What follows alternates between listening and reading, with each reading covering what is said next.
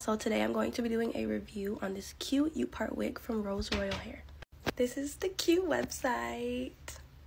Not gonna lie to y'all, I already opened the package, but that's okay, because then I can show you. Look how cute! So it looks like this. And then there's also Velcro right here, so you can put things in here if you wanted to. Let's get to the good part. It comes in this cute body wave. It's so soft and I've brushed it in no shedding, period.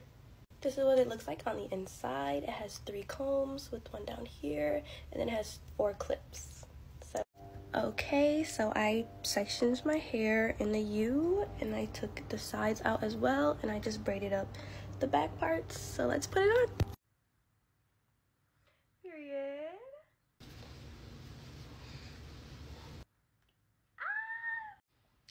Thanksgiving.